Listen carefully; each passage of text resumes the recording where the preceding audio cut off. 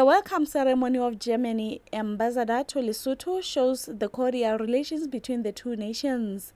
The government of Lesotho, through the Ministry of Foreign Affairs, clarifies its intentions of working harmoniously with the German embassy, particularly in the developmental projects that Germany assists Lesotho with. This occasion, therefore, is a celebration of reliable friendship, solid cooperation and solidarity between governments and peoples of Lesotho and Germany. In the same manner, Dr. Schäfer pointed out that Germany will continue to be Lesotho's reliable development partner.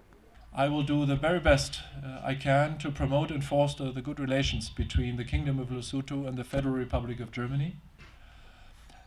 I do think that uh, my country has a moral obligation uh, and a political interest in uh, fostering the good political, social, and economic development of this uh, kingdom.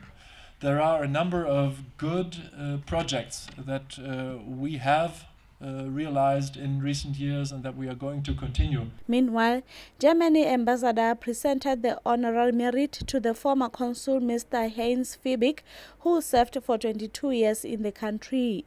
He was commended for representing Germany well and serving Lesotho greatly. Mr. Fiebig expressed his gratitude over the token of appreciation rendered to him, adding that though sometimes things were quite difficult, he thanked the government of Lesotho and the nation at large for working harmoniously with him during his tenure of office. Also, my special thanks to all the staff from the Ministry of Foreign Affairs and International Relations as well as Lesotho government officials and many, many more Basotho on a wider scale, which helped us in years gone by. Lesotho and the Federal Republic of Germany bilateral relations were first established in 1975. Mpungwa Lidimo, LTV News, Maseru.